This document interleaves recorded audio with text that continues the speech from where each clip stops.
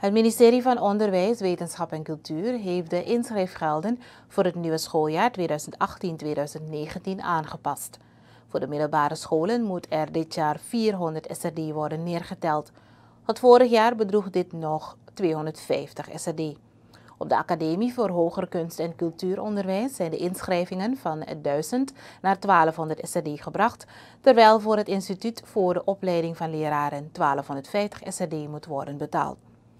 Vorig jaar was dit nog 1100 SRD. De Antonocom Universiteit heeft de inschrijfgelden met 350 SRD verhoogd.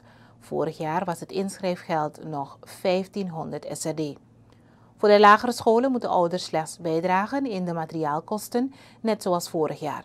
De inschrijfgelden op de hogere instellingen kunnen in termijnen worden betaald, meldt het ministerie.